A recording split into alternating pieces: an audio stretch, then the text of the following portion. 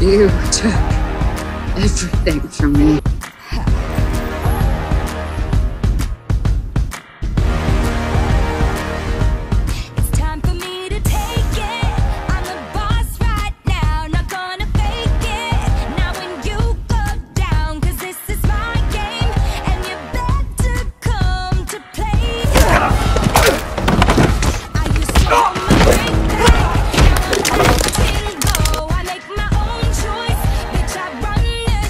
Second, I did it to protect you.